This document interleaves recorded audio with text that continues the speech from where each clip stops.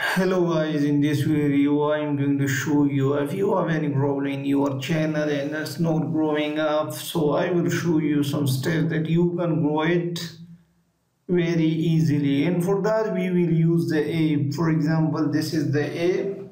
You can search it in the mm, samsung play store or any other place. Once you download it you just start open this now I'm using LD player in here. It's not working. Just I'm playing but it's not getting okay. But if you want to do this in your mobile you will get the best result.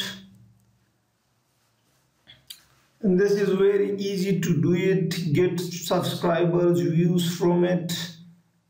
Now see unfortunately one get subscribers stopped if you want to get 1k subscriber for from this app so you can try this in your mobile and link that with your channel. Once you play with your channel you will get started your uh, views and subscriber and the requirement will be implemented so soon so you can use this app there are more a lot of apps that you can use for it. I'm just going to show you that you learn how you can use these apps and you can try this. So thanks for watching. See you in the next video.